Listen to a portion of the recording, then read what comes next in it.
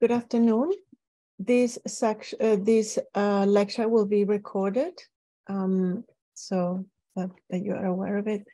Thank you very much for being here. I would like to welcome you to the Navigating Change in the Museum, a lecture by Erika Hirugami titled Aesthetics of Undocumentedness and the Creative Labor in the Art Industry, which will be chaired by Delia Sofia Zacarias. The ASU LACMA Navigating Change in the Museum series looks at diversity museum practices and is part of the ASU LACMA Museum Fellowship, which was founded in 2018, is a program, uh, a partnership between ASU and the Los Angeles County Museum of Art, but it also now has several institutions participating, the Perez Art Museum, the Heard Museum, the ASU Art Museum, the Phoenix Art Museum, and the Memphis Brook Art Museum. Uh, this was a program created to uh, aim to culturally diversify the staff and leadership of our museums in the United States by providing a free three-year degree program in art history um, in order to support uh, the idea that there is going to be, you know, we need a change in leadership and create a more culturally diverse generation of museum professionals in this country. So I would like to introduce Delia Sofia Zacarias. Delia Sofia Zacarias is one of the fellows in the program currently. She's a second year LACMA fellow in art history. She's based in the LACMA director office as the executive administration and fellow. She's currently researching curatorial activism as it pertains to Latinx trauma and migration along the US-Mexico borderland. Thank you, Delia Sofia, and thank you, Erika. Thank you, Cecilia. Um, and thank you everyone for joining us here today for this uh, wonderful, wonderful talk uh, by Erika Hirugami. I'd like to introduce our, our lovely um, speaker today. Erika is a first generation transnational Japanese Mexican American, formerly undocumented. She holds an MA in art history, art business from the Sotheby's Institute of Art in conjunction with the Drucker School of Management and Getty Leadership Institute at Claremont Graduate University. Her most recent MA from Chicanx Studies at UCLA is entitled Political Art Action, The Aesthetics of Undocumentedness. Erika holds BAs in the fields of art history, Chicano studies, and Mexican studies from UCLA, currently a lecturer and doctoral uh, candidate at UCLA, where she braids the aesthetics of undocumentedness to challenge immigration, immigration policy and politics. Erika is, a, is the founder and CEO of Curator Love, co-founder of the Undoc Plus Collective, the ED at AHSC, a professor at CGU's CBM Arts and SMC, Arts for LA Fellow, NALAC, NLI Fellow, and CCI Catalyst.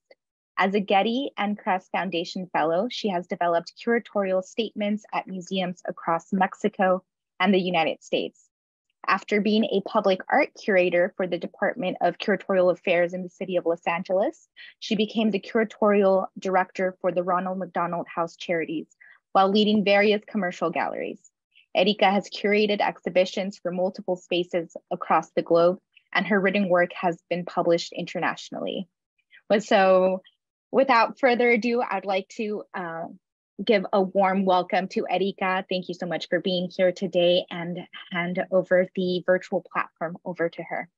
Thank you for having me. So I'm going to share my screen. Let me know if this works. Yeah, um, thank you. So, first and foremost, thank you for the invitation to present on the topic of my doctoral work. It's been it's been a couple of years thinking through undocumentedness academically. It's been decades of embodying it. It's been a lifetime of figuring out what it means. Um, but here, right, as of recently, I'm thinking about undocumentedness aesthetically, qualitatively, and quantitatively to utilize the tools of academia and I'm thinking as it through curatorial acompañamiento, um, which I pose is intricately tied to navigating change at museums. So I'm a first generation immigrant, formerly undocumented, and I'm half Japanese, half Mexican. And it has been both a pleasure and a heartbreaking challenge to create knowledge from within my community. So I appreciate the opportunity to share. Um, now, this is where my profit kicks in, right? I tell my students every time, like, kind of a layout of my presentation so that they know when to take a break. But I'm going to begin by outlining just a roadmap of where I'm going with this. I will discuss terminology because it's really important that we understand what we're talking about. I'm going to talk about quantitative data, qualitative data, and then provide some information and highlight possible resources as well as upcoming projects for undoc creatives. So let's start with undocumentedness. For the better part of the conversation, undocumentedness is always tied to policy and politics. Like we cannot escape talking about statuses when it comes to undocumentedness. But the reality is that policies and politics subjugate giant chunks of the community, and it serves no one to think about people through law. Um, for the better part of this, right, in the words of Aviva Chomsky, and I quote, it seems right and natural to us that people should be divided by citizenship and documented into different categories with differential rights. We assume that the world is naturally divided into countries and that every human being somehow belongs in one country or another. People are supposed to stay in the country where they're from unless they can get special permissions to go into another. But there's nothing natural about the state of affairs. Countries' sovereignty, citizenship, and laws are all social constructs that are invented by human beings. End quote. So by and large, when it comes to thinking about undocumentedness in the United States, the media equates it with being a purely Mexican concern. It is as of recently, right? Contemporary media has, as in the last couple of decades, made this just an, a Mexican issue. But the reality is that this shifts based on how the policies change. Um, in a recent study by the Pew Research Center, it states that amongst new arrivals, Asian outnumber Latinx people and have done so in the past decades. But that's different than what contemporary media understands it to be. And also, when we talk about undocumentedness, we make it synonymous with menial labor, which I'm showing here in the work of Narciso Martinez, who's an immigrant artist and currently residing and working out of Los Angeles. So, in a post pandemic universe, we all became really familiar with what it meant to be an essential part of the population. And we associate this essentialness to being undocumented and to farm labor and to menial labor, such as gardening and housekeeping, etc. But the reality here is that that is no longer the case. And we need to start thinking about how to have a different conversation about undocumentedness that's beyond just how people from other communities need to come and service the people living in the United States. So the work of Narciso Martinez, right, as shown here, dignifies undocumented labor primarily from the central fields of California, which he is closest to. So with that and beyond that, I've started to think about undocumentedness as a spectrum because we need to think about not just undocumentedness as a dichotomy to citizenship. And so undocumentedness is much more complicated, right? There's no easy way to define undocumentedness and no single definition that stands true across the globe. And mindfully, undocumentedness and not it's not a US specific issue. Like this is a concern all throughout the world. In the words of Jose Antonio Vargas, who's also an undoc immigrant, if there's an estimated 45 million immigrants living in America, then there are 45 million ways of being an immigrant in America. Like all groups, we are not a monolith.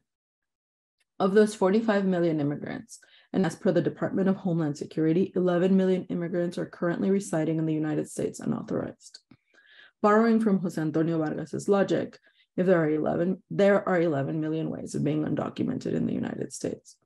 Thus, to completely comprehend undocumentedness, and in the words of Federico Coatlacoatl, one must consider undocumentedness a spectrum, which is where things get intricate. So I've created my own working model, and it's by no means perfect. It's where I'm at in this thought process at the moment because living undocumented, living undocumented evolves over time, right? There are new policies that come and change how we have to think about this community, my community. This past week alone, right, our current administration decided that refugee needs to now be rethought. And this is something that we don't know how to address from within the space yet. So, again, it is by no means perfect because it is incredibly complex and it's ever changing. But I think that this is a more humanistic approach that removes me from thinking about people as statuses. Now, I'm going to go and explain just a tiny little bit of how I'm thinking about it. And again, this is a living document. The more I learn, the more it grows. But it within undocumentedness, we have people who are unprotected, and within the unprotected community, there are people who are at risk, meaning at risk for deportation or who are deportees already. So while you are a deportee, you're in deportation proceedings. And if you're deported, that can mean that you exit the country. But if you're deported, that can also mean that you're returned. So you can be in this country post deportation. And those are people most at risk and unprotected within this community. So there are people who are unprotected but not at risk because they're not in deportation proceedings, which is the second portion of the spectrum. And then there are people who have protected statuses. So within protected statuses, this does give someone certain rights, but not all of them, definitely not citizenship rights. So here we have the DACA people, um, deferred action for childhood arrivals there's people who have advanced parole who request small permissions to exit the country. And then there's people who have TPS, which is um, a permission that's not different than DACA, but I think it's mostly for Central American people. So what I've I've talked about and what I've kind of began to think about um, after conversations with Fede is that undocumentedness spectrum, right, ends at the gray line that you see in this graph marks embodiment. So everybody inside the undocumented spectrum has either been undocumented or is undocumented today. Now, in the undoc spectrum, that also includes refugees and asylum seekers, people who have previously naturalized, people who are currently naturalizing, because as you're naturalizing, you get some level of protection, and people who are formally undocumented, regardless of status, which may or may not also include some citizens. I'm personally a citizen of the United States by naturalization who is formally undocumented, but I've also embodied undocumentedness. So within undoc spectrum, this is where you will find everyone who has lived the experience or is currently living undocumented. So beyond that, you have the undocumented diaspora, which is people who are adjacent to undocumentedness. Now, this is there's different levels of adjacency to undocumentedness, right? It means something completely different that your parents are undocumented, that your partner is undocumented, that your children are undocumented. So, for instance, growing up, when I came into this country, for me, I was the only one in the undoc spectrum, but my entire family was in the undoc diaspora. So that includes offspring's parents, it includes mixed status families, and it doesn't need to be the immediacy of your household. Because if your tios are undoc, you know what being undoc means. If your madrina's undoc, right? And this means extended family, and it also means visa holding immigrants. So visa holding immigrants are a particularly different bundle that we're not tying into the undoc spectrum because they come in with a full set of rights, even if it's not citizen rights but they're not subjugated by the law for labor and all sorts of other things like driving. And they can leave to their country if they so wish to. So beyond that, we have the host society, even though I still think that the host society is part of the undoc diaspora because the host society is affected by undocumentedness, right? Legally speaking, today, we cannot all be equally governed under the law because people in the undoc spectrum are governed differently. So if we wanted to fully possess citizenship rights under the laws of this country, undocumented people would need to have them too. So I don't assume that you can have it either or. So the host society is the furthest from um, the undoc, undoc plus center, but it's also not completely removed from. So one thing that we need to think about is how all of this challenges the understanding of people beyond statuses. I'm not thinking about who has a visa or who doesn't have a visa for the purposes of thinking about their humanity and thinking about how to create a community with them. But also, we need to be extremely cognizant in this community that not every single person of the community can outwardly say that they're in the community. There's a lot of stigma tied to being undocumentedness. There's a lot of legal implications to outing yourself as undoc right? I personally was not super comfortable for years and years and years about talking about my own immigrant status and that happens intergenerationally. So like i know a lot of people who are of younger generations from the harshest parts of the law in the 80s who will never out themselves as undocumented to their families and friends right? But also one thing that's beyond interesting of this community is that this community is is not like the other communities where one single thing lumps us all together right? Because this community includes trans individuals queer individuals black individuals api individuals people who are you know disabled people who are neurodivergent. Like there's undocumentedness affects us all which is why I'm baffled that arts organizations have not yet considered migration, or for that matter, undocumentedness as a part of their justice, diversity, equity, and inclusion policies. But that's where we are today. And so, moving beyond that, um, I think that I divest from the line the line of reasoning that I've just explained. I mean, I'm going to divest from that line of reasoning so that I can continue to communicate um, that I want to create knowledge from within my community. This is by no means something that I'm making myself, right? And it is here where, politically speaking, two people can be governed in the same way. I'm sorry, I already said that.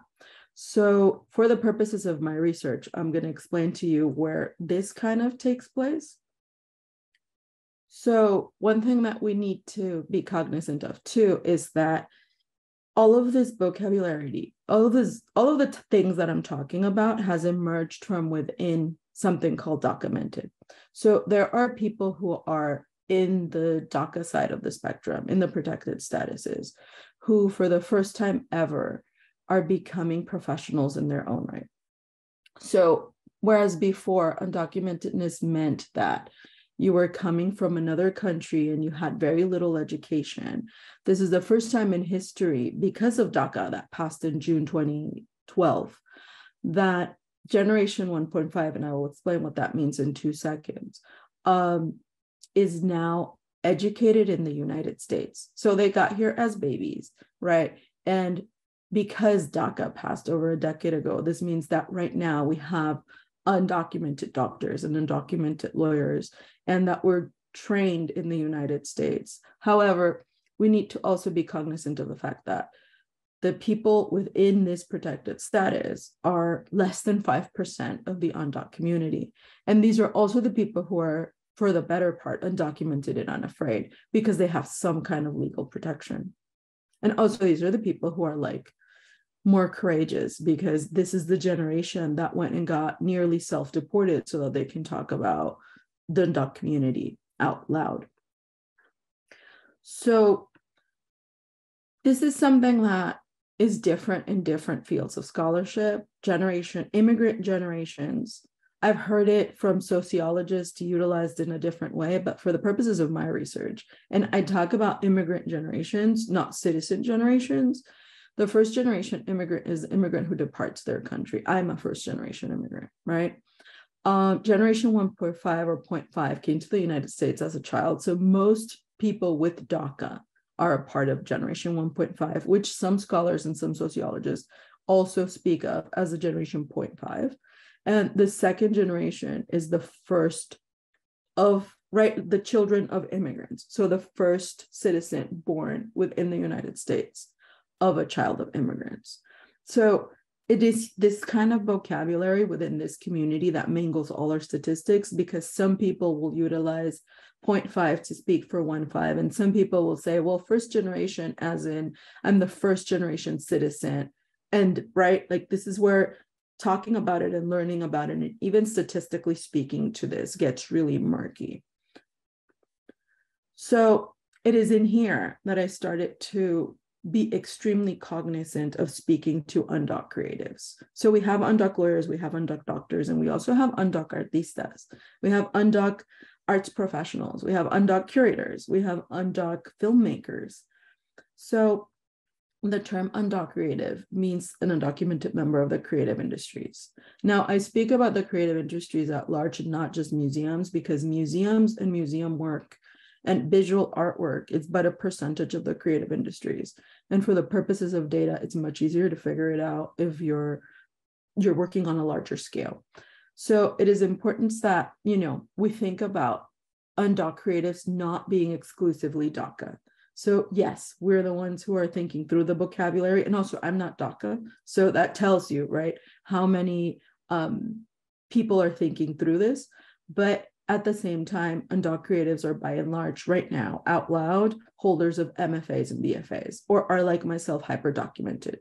So hyper documentedness is a term coined by Aurora Chang that speaks to undoc academics who need to amass degrees to stand in for the documents that we cannot get. So while we're waiting to be naturalized, because right, we're thinking about our immigrant trauma and thinking that we need to also be seen on paper we go and we get degrees. So I personally have about a dozen of them um, because we somehow believe that if you receive more education, that means you're less undocumented or something.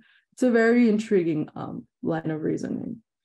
But it is here where I turn to the quantitative portions of this analysis so that I can openly discuss the qualitative work.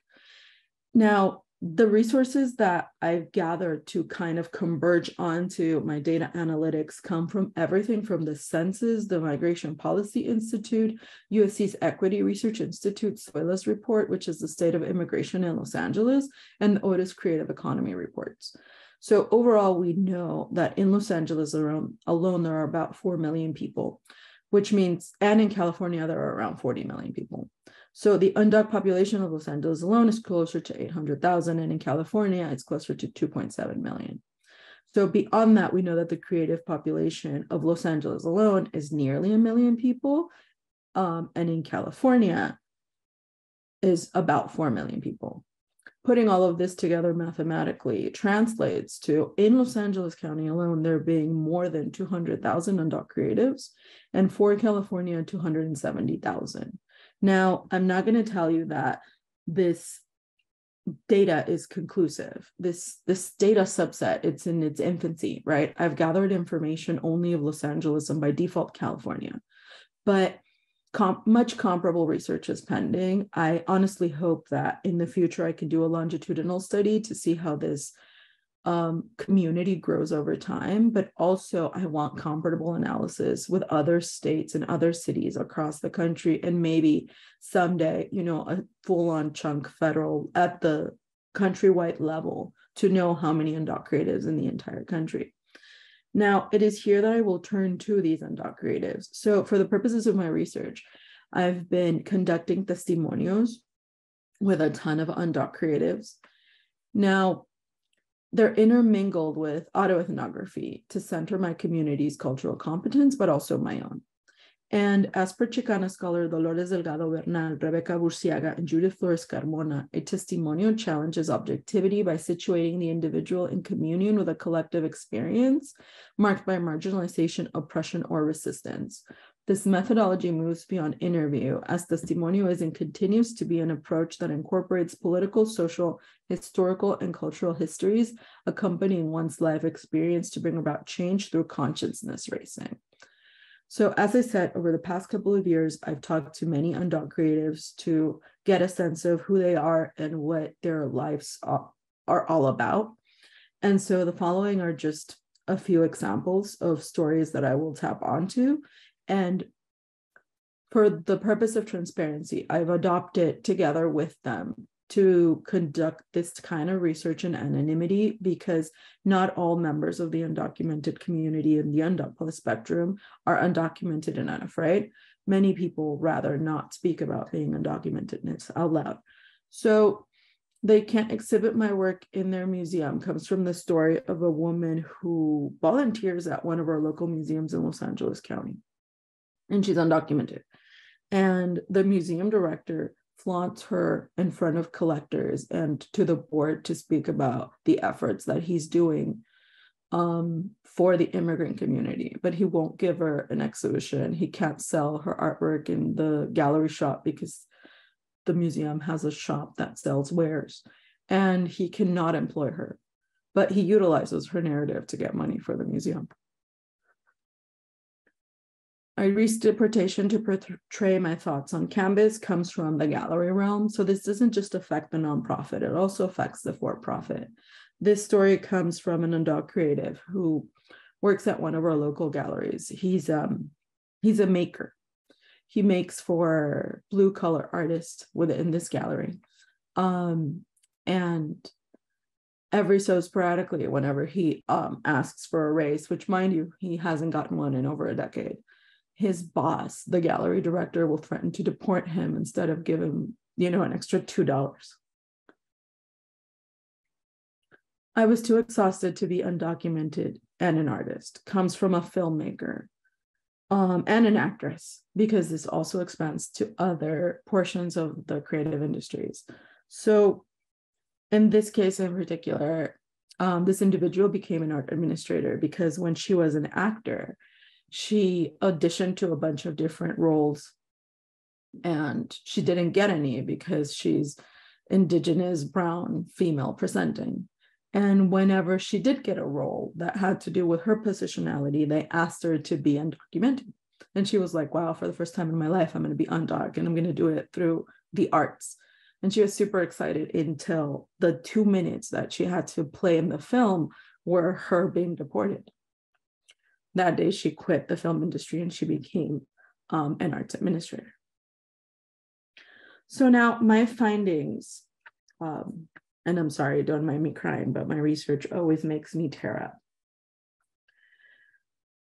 My findings are that um, Los Angeles is kind of poised to usher the new wave of undoc creative legal labor because it is within Los Angeles County that things such as um, a more diverse and inclusive workforce is necessary. But also, last year in the county, we approved the, the motion to waive citizenship requirements for county employees, which is huge as there are enormous barriers towards people getting hired legally at various organizations. Now, this is at the county city level, but it has zero to no correlation at the moment with museums in the art industry, which is kind of, again, heartbreaking. Through my research, I found that there is a handful of organizations across the country at large that are here to benefit undoc creatives. So in California, and this particularly applies to Los Angeles, but these organizations also service the rest, some of these organizations service the rest of the country. The California Arts Council is California specific, but they offer tiny bits of funding in contrast to the funding that they offered for all of California to some undoc creatives. The Center for Cultural Innovation um, has grants and funding that are free of citizenship requirements. Fellowships, Define America services the whole country. Um, the Center for Cultural Power is located in California and they service most of California. And then the Undocumented Filmmakers Collective also services the whole country. So these organizations have began to see a need for immigrant narratives or undocumented narratives to be a part of the art canon, but are also trying to shift the conversation, right? Immigrants Rising provides business development for creatives, for immigrant creatives. And the Los Angeles County um, of Arts and Culture and the House of Alegria provide artistic residencies in California for undoc creatives.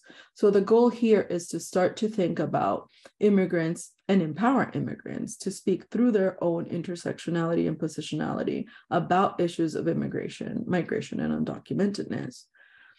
Now, because I've been doing this research for the past three years, and because I didn't think this was enough, right? Like all of the information I've given you is a result of three ish years of research beyond the time I spent being undocumented myself. Um, and as a response to the fact that we saw so little in terms of how much was possible and how much was helping our community. Me and artist Francisco, Francisco sorry, Federico Cuatlacuatl decided to um, start our own collective.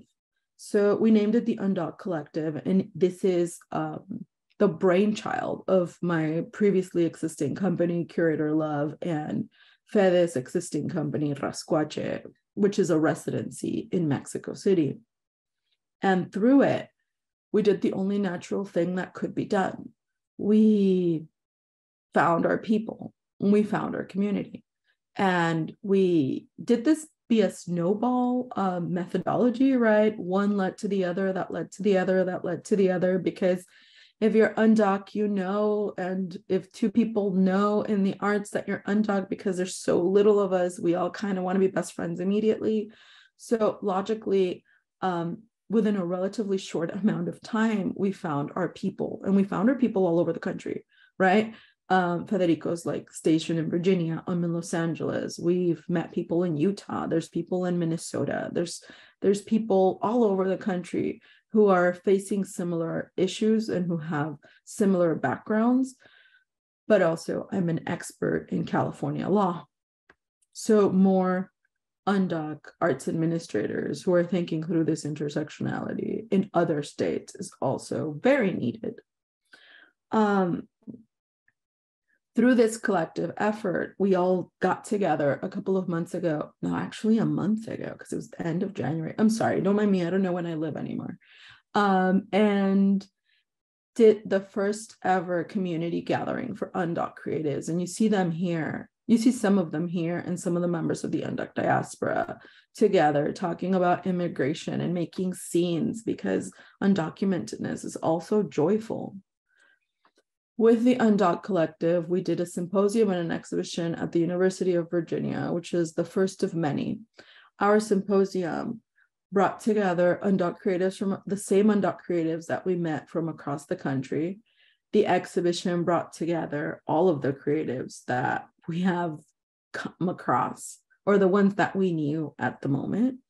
Um, Pertenecer Encarnar the Aesthetics of Undocumentedness is what the exhibition's title was the exhibition gave us all an excuse to see the different media that artists, visual artists, and film artists are using to talk about undocumentedness, but also it allows the conversation that we're having to be guided from within the arts, not from within policy and politics. And it was also the first time in which a, we were all in a group of undoc creatives. B, we were all in a group of people who spoke the same language, not just about undocumented, it's not just about migration, but also about art. And this was also the first time in which we were just, you know, openly allowed to feel the joy of being an immigrant without this demonizing and fetishizing, institutionalizing way in which people speak about migration as if it were a bad thing. And in here, right, the exhibition and the symposium focused around embodiment. Um, what you're seeing here is a picture of Guadalupe Maravilla, who's an artist based in New York, who went to a detention center where teenagers who have been immigrants who are now detained need to continue to feel joy. And he brought art to kind of have a conversation with them beyond the fact that we all embody undocumentedness, this was also an excuse for us to understand more about our ancestry. We don't all come from the same planet. We're not from the same countries. We're not all Mexican. Mindfully, we're heavily Mexican because Mexicans all know each other clearly. But we have people in our in our collective who are Ecuadorian. We have people who are um, Salvadoran, we have people who are Guatemalan, we have people who are Filipino, right? And our collective efforts are growing and we're learning from our different ancestries because what unites us is an event, not a race and not a gender and not a sexual preference. So we get to celebrate all of who we are. Um, this is an artwork by Luis Alvaro Sahagún that speaks to his own immigrant journey. So, in the middle of the symposium and the exhibition, we launched a series of publications. This is two of three. So the first book, Pertenecer Encarnar, Aesthetics of Undocumentedness that you're seeing on your left is the book, the catalog for the exhibition. But beyond the catalog for the exhibition, um, I chose to also include a page where each of the artists speaks about their relationship to migration so that you can better understand not just my curatorial statement, because at the end of the day, that's not important, but how we all come to be where we're at and what unites us all, and how we all think about being immigrant, right? For some people, it's still very painful and still very traumatizing. For other people, it's a matter of empowerment and joy. Other people are thinking about it, about beauty. Other people are thinking about ancestry. All those things are far more important to me than anything I could have written about the artwork. The second portion of the book, um, the second version of the book, so is in German. So the first iteration is in Spanish and English. The second iteration is in Spanish, English, and German. And the third iteration will have Nahuatl and a language that I'm blanking on from Central America's indigenous tongues. So beyond the series of books that we're launching to speak about ourselves, for ourselves, by ourselves, we also launched an artist residency and exhibition, which was an open call that we did a couple of months back. And it was the first ever Undoc Plus exclusive resource of this nature. So we are sending some, we're giving someone a travel stipend, we're giving someone lodging, we're giving someone um, a studio and we're giving them resources so that they can create for a few months if they choose to. If they choose not to, we're also, that's also fine with us. If they just need to be a part of our community, that's something that we're encouraging. And we're providing them with professional development from the various people in the collective so that we can learn from each other what we need to continue to thrive. So we're not done, right? This this was just the first year of our collective efforts. The collective started in 2022 and in one year we've done a lot, but also we have so much more that we want to accomplish. First and foremost, we don't know all of our community. And thankfully, based on the projects that we have been doing, our community continues to, you know, wave from afar at this point since the symposium started um, ended actually happened i've had at least 10 people reach me like hey i'm an undoc creative and i teach at this university like hey i'm an undoc creative and i'm like doing my mfa over here. So one of our goals is to continue to expand our network so that we can continue to create our own resources for each other. Another thing that's coming up for not just Los Angeles. So my policy report for the Arts for LA focuses specifically on undoc creatives in Los Angeles, and it will act as a resource how-to guide for institutions and for people in the undoc diaspora so that they can figure out what it is policies can be shifted within their organizations or you know just a matter of self right how do you learn language about immigration and what can museums do to start centering undoc creatives at every level of the of the museum realm? There are policy recommendations for developers. There are policy recommendations for people doing funding. There's policy recommendations for museums, for curators. There's policy recommendations for everybody. And that will come out somewhere in the next few months for Arts for LA, and it'll be digitally available. The Define America How To Guide is a collective effort in between myself, the team of Define America, and other undoc creatives that will be even more specific. It'll act as a how to guide for HR people in the arts and film industries so that they know how to hire undoc creatives. So many, many more kind of informational toolkits are coming. And of course, I cannot, I can never have enough books. Um, another book on the aesthetics of undocumentedness is coming this one is entitled Political Art Action, which is the title of my last master's. And this one specifically demystifies naturalization. So, what does it mean to have a relationship to your passport? And yeah, that cover is Baby Me and My Baby Passport. I think I was three or something at the time.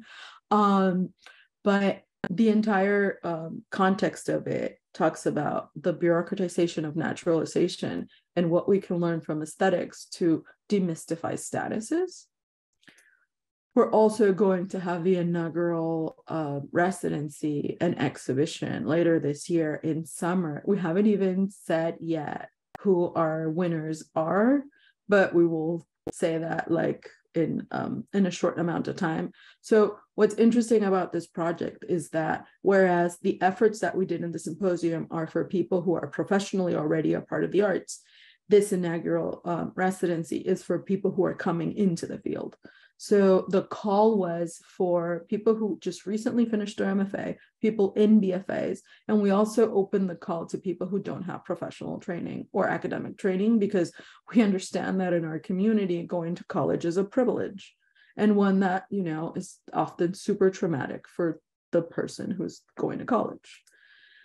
So the exhibition that we did at the University of Virginia will also be coming to other spaces near you after we concluded a lot of different organizations have reached out about continuing to expand these efforts. And i feel like we just tapped on the surface right? This was the first iteration of the possibility of something that we can see and something that we can tell people about. But also as this exhibition goes to different places it will be reactionary of those spaces and it will talk about the immigration policies and politics of these locations. It is completely different for me to talk about policy from California than it was for me to take this to Virginia, right? In the University of Virginia, there's less than 1% undoc students. At the University of California, where I'm currently at, there's many of us, there's full departments of us. So I think it's important to contextualize what immigration means and how it shifts on different states based on different policies, but also to have an umbrella understanding of how we all belong to a community and how we can continue to make our own resources while the arts organizations catch up to our needs. That is where I will conclude for questions. Thank you very much. And I'm going to stop sharing. Thank you. Thank you so much, Erika. Um, if anyone has questions, please feel free to uh, chat them um, in the chat box directly to Erika or myself. But um, I, I, mean, that so much information to unpack and um, your research in the last three years has been so, um, well, you say it's not comprehensive. It's, you know, it's really the it's just the a tip of the iceberg if you will and yeah. so how um how can we uh join in your efforts of research and uh, how can we a collective call to action if you will like mm-hmm. what what would you like the art industry and you know all industries as a whole just as humans to to be able to help in this i think you're not wrong, right? When I told my advisor at my PhD what I was doing, she looked at me like, Erika, that's 10 years worth of research. And I was like, I, I have it coming. I understand this, right? And I just barely tacked the surface of this. Um, I think on the one hand, right, my call to action is to have other undoc creatives reach me so that we can begin to continually work together, but also other undoc um, academics who are thinking through policy and politics and migration, I'm calling them in to start thinking about the arts. And other people who are thinking about arts, I'm calling you all in to start thinking about migration. I think that this is a very unique kind of intersection of things where, right, we're so used to talking about races and genders at museums and arts organizations because well we're reactive right? We don't ha- we don't start the conversation ourselves but we're seeing a community that unites us all together and also a community that no one speaks about. So i think i think it's important that we start acknowledging that there's a usual invisibility about undocumentedness within the arts. And i think you know, if more arts professionals can start learning how to just even talk about these issues, it will demystify a lot of the barriers, right? If just bringing these concerns onto the table will make sure that people who are undocumented have a space at the table and mindfully, right? I'm also the one who thinks we should not have a table. and Everybody should be sitting outside in the grass. but I think there's a lot to be done. And there's no possible way I'm going to do this on my own, not even if I devote the next 40 years of my life to it. So the more the merrier. I'm here to create knowledge and community with anybody who wants to create knowledge and community with me. And if you're an undoc creative, join our collective efforts. Amazing.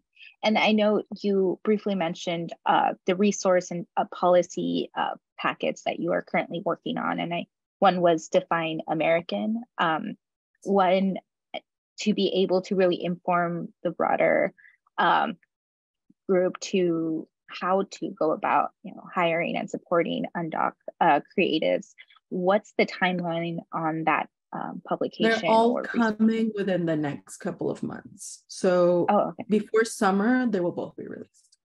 Oh, amazing. And we just got a question in, and you know, uh, you shared a lot of the different programs and collectives that you're um, you've kicked off, if you will.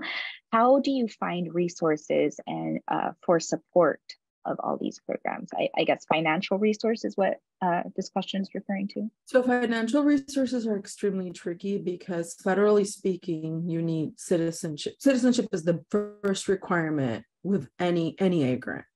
Although I know a lot of individuals who have told me of ways that they're bypassing this um, request, but right now all of our efforts are academic and that means that giant institutions are fronting the bill, which is good and grand.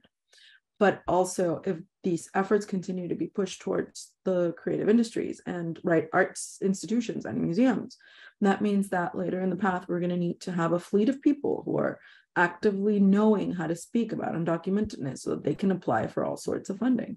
And one thing that we also always think about is that every member of the undocumented community cannot legally work and that's not that's like the least from the truth. First and foremost right daca academics have working permits and every single daca holder probably has a degree of some sort. Um, but also a ton of us are professionals with legal working permits and a lot of us can bypass a lot of the red tape which isn't to say that that's the case for everybody but you as an undoc creative you can open an llc and be paid as a corporation instead of an individual and still pay taxes at the end of the day. So there are a ton of loopholes to getting all of these people compensated for their time but also there aren't enough organizations that are making funding available for people without citizenship requirements. So I feel like the beginning portion of this is to learn the language and then to call some people into the table and then to start shifting the conversation about why is citizenship a legal requirement when 11 million people in the United States today don't have it. Amazing. Um, and I don't know if Erika, you're getting any questions. I'm not. Yeah, okay. don't be shy, anyone. Um, They're coming to but, you. Yeah. but, you know, trying to tackle all of this misinformation um, surrounding uh, undoc creatives um, can be um, a bit isolating for for anyone.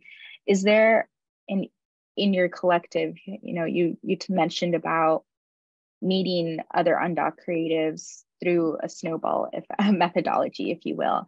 Um, how how have you seen in this past year? How has it grown? You know we start uh, i think the publication uh, includes about 15 12 15 12 uh, yeah. 12 um 12 artists like how has it grown um, into a year full year later if you will? So there's there's many people who cannot be included in this publication because they're not outwardly undocumented. There's a lot of people in our community that don't want to be associated with undocumentedness. So, softly speaking, for the first project, solidly, there were 12 people. At the moment, a part of our collective efforts are closer to 30 people. In reality, we know about 200 people who are all in the creative industries, who are all not speaking out loud about any of their, you know, stories or narratives or needs.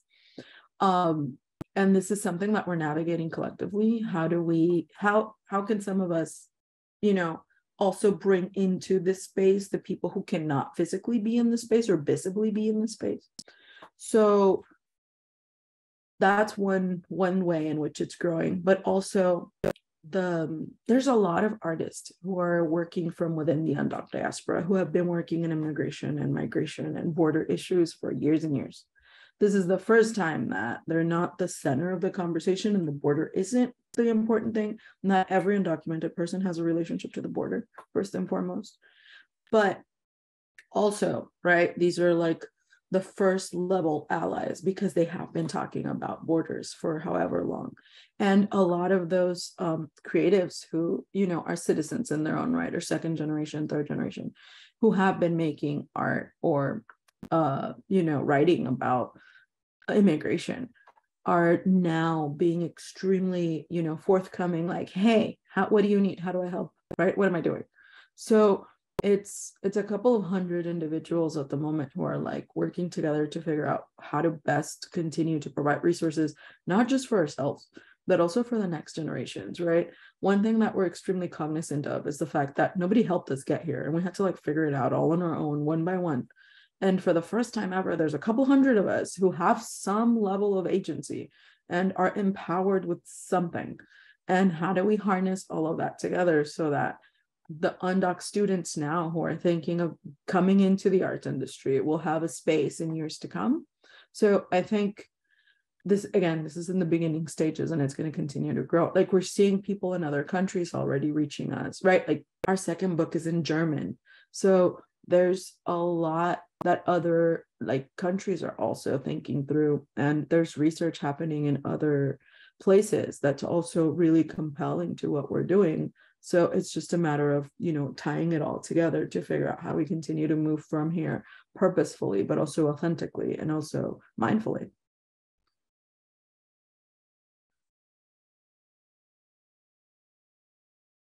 Uh, amazing. Sorry just going through um, do some artists use uh, aliases as creatives to be able to participate in the undoc industry? No. So by and large, the contemporary art world ties objects with people, and your name is your brand, regardless of whether you want to or not. There are people who use aliases, but none of these people, right? Like we don't know if Banksy's undoc um, but in the in our collective efforts, the people who are not outwardly undocumented don't use aliases. We use anonymity to speak about them. Interesting. That's that's really interesting to know. And it's also really complicated because we cannot utilize their artwork. Yeah. And I guess, yeah, it just de- depends on people's own um, meeting people where they're at, right, with their comfort level. And like you said, not everyone is undoc and unafraid. Yeah, um, I have these these beautiful conversations with my undoc viejitos who are much older, right, 60s, 70s, who will never in their life allow me to say that they're undoc their name and undoc, right? Like you saw my slides, it's name and then it's a part of the spectrum, it's an immigrant, whatever it is. Mm-hmm. Um, and some people will just not let me do that, which I celebrate, I respect, I make space for. But at the same time, it's learning from their journeys to figure out how to, you know, set the path for the next generations. And even my own, I get a lot of wisdom from people that I cannot outwardly say I get wisdom from so it's it's interesting to na- like navigate but at the same time it's something that we need to purposefully continue to do so that you know we're not just thinking about the next generations but also the previous generations. Exactly. And it's um it's quite difficult. And i think something you you mentioned during your presentation is that you know your research um you know is very personal and leads to a lot of emotions. And i think uh, like many current art history students and i'm just trying to uh, uh, bring it back to the the program and uh, the main audience here in the in this presentation um, just trying to think about the students or this next wave of future curators trying to bring in a more inclusive and holistic um, narrative into the art, his, uh, art history canon. And uh, a lot of it is tackling very difficult and emotional um, narratives and research. How, I guess, just trying to long-winded way of asking you, like as a professor yourself, what what are some of the advice that you give to your students who are eager to, you know, and have all this energy to continue pushing the field forward? Um, but you know, it's a lot to take on. I can tell you that not every day do I wake up wanting to challenge all of the canons and oppression, right? Some days I just need time and space to feel feelings and be upset and be angry. But also, I'm an immigrant. I have to create from a place of anger and pain, whether I want to or not sometimes. I think based on how I've been learning with other people and also based on thinking through how abstractive our field is, right? As a curator, I think that my professorship is informed by my curatorial practice, and my curatorial practice is informed by my students in the same way. That we need to move beyond the toxicity that we've created inside of our field, that we've continued to allow to thrive inside of our field, in order to think about different models that can service our communities. So, this this last curatorial thesis of mine um, i'm thinking about it more beyond the curatorial and as curatorial acompañamiento right so acompañamiento is like this body of work that was made by Leisy Abrego who's like a chicana scholar who talks about how within research you accompany the people that you're interviewing and that you do testimonials because their narratives are your narratives because you have the cultural competency right? She's an she studies immigration and she interviews immigrants. So for her there's no dividing or divorcing yourself. There's no this concept of like you know an academic as being completely unbiased because you know these people are so far removed from you services absolutely no one.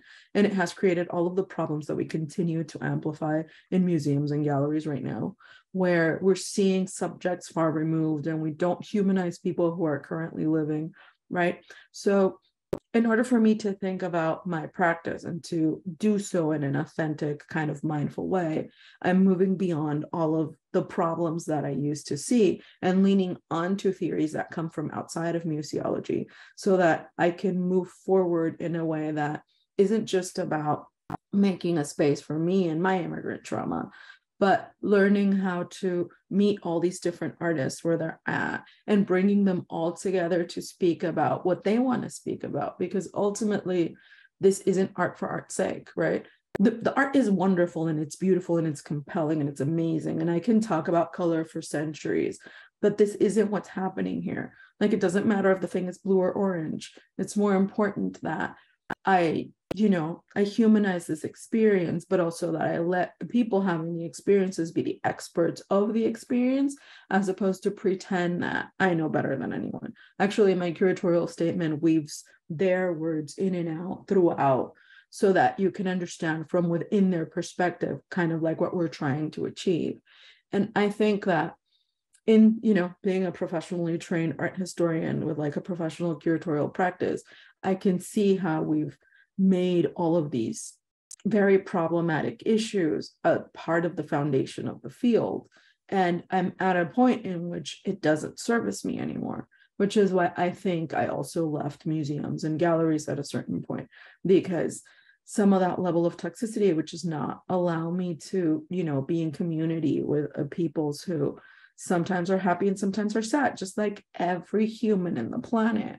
And to celebrate both their joy and their pain communally because art institutions don't always have space for that. And I want to make space for that in my practice and in my classroom. Does that answer your question or that I go someplace? No, no, no. Yes. no, no, no. That completely answered my question.